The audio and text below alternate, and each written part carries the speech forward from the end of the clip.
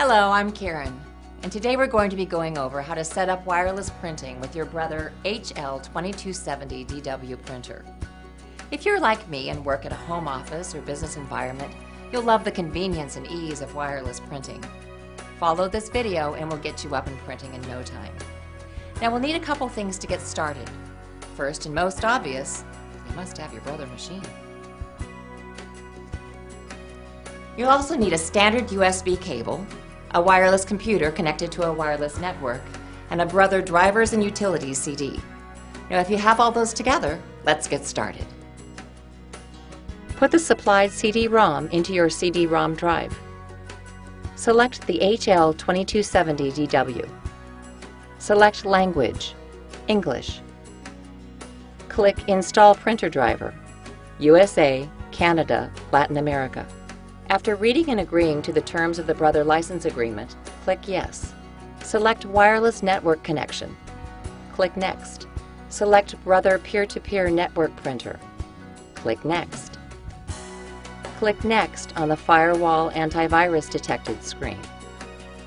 Select No to configure the wireless network card manually. Click Next. Check the Checked and Confirmed box and click Next. Choose Temporarily use a USB cable, recommended, and then click Next. Connect the USB cable directly to the computer and the machine. Make sure the machine is powered on. This step may take a few minutes for the USB driver to be installed. You will see the Found New Hardware wizard installing the driver in the task tray, bottom right corner of the screen. Your SSID will be displayed, if this is correct, click Next to send this information to the printer. Click Next. Disconnect the USB cable between the computer and the machine. Click Next to install the printer driver. If the following screen appears, please reset the router by powering it off, then back on. Wait 60 seconds and click OK to search again. After searching, the Brother machine will appear in the installation box. Choose your Brother machine from the list and click Next to continue installation. To view or download a manual, click the View Manuals on the Web button. Otherwise, click Next. If you would like to register your machine with Brother, click on the Brother Registration button. If you prefer not to register at this time, click Next.